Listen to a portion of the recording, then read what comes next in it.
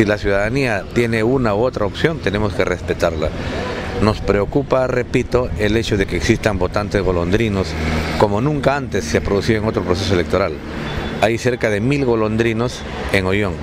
Ha habido golondrinos en Sayán, traídos cerca de otros mil más, traídos por el actual alcalde, que ha ganado, creo, este, este señor de Sayán. Ha habido golondrinos también en Puerto Supe y golondrinos también en Guaura que han sido capturados en Guaura, ¿no? Han sido detenidos en Guaura, eso no, no es una afirmación en el aire. Entonces, pero a este hecho hay que añadir de que del total de mesas que hay en Puerto Supe faltan cuatro mesas. Y siendo la cosa con menos de 10 votos la diferencia con nuestro candidato, a nosotros nos preocupa que esta situación anómala eh, no se esclarezca. Hemos venido en plan de conversar con el señor Revilla y el jefe que nos ha atendido muy cordialmente y al mediodía nos va a dar una, respuesta sobre esta observación.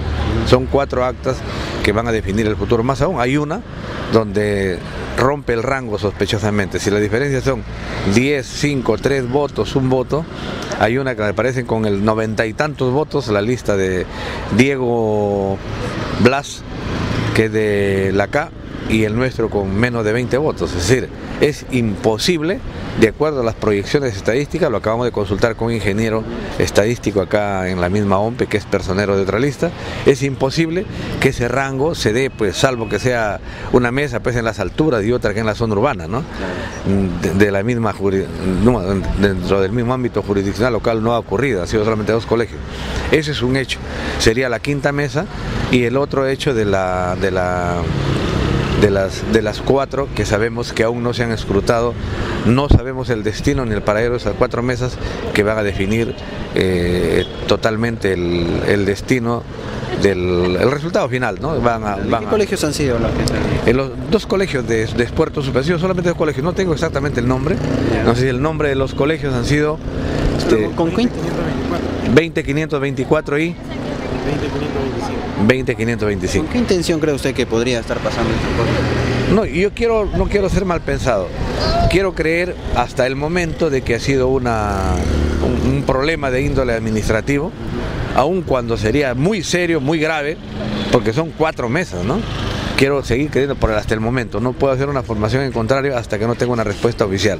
Vamos a estar a la expectativa, vamos a estar vigilantes del hecho. Ahora, casos como lo que ha ocurrido con ese, estos golondrinos que dice usted en Ollón, por ejemplo, y lo que está pasando en Supe con esta, eh, por el momento, desaparición de actas, eh, ¿qué otros casos más? ¿Aquí en la provincia de Guaura ha podido percatarse de algún hecho irregular? Mm, no, no, no. Por lo menos que tengamos conocimiento, no ha habido mayores cosas. Creo que la situación se ha desarrollado en paz.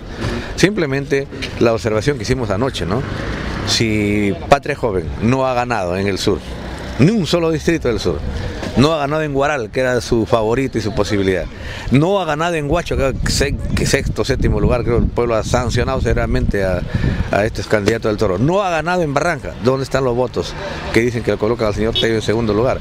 Aquí, lo que sí aquí visoramos es una, una, una acción tramposa, malintencionada, de querer inducirnos a, querer, a creer de que él está en el segundo lugar, hacer el tanganazo acá, vía actas, vía concertación de con no sabemos quién y, luego pasar a una segunda vuelta espuria, que sería en este caso, con el candidato creo que como Marino Llanos, creo que es el... ¿No debería estar Andrés Tello para usted? No, es que no tiene por qué no reflejan los resultados. No, no, los resultados no reflejan, porque ¿cuál es el sustento?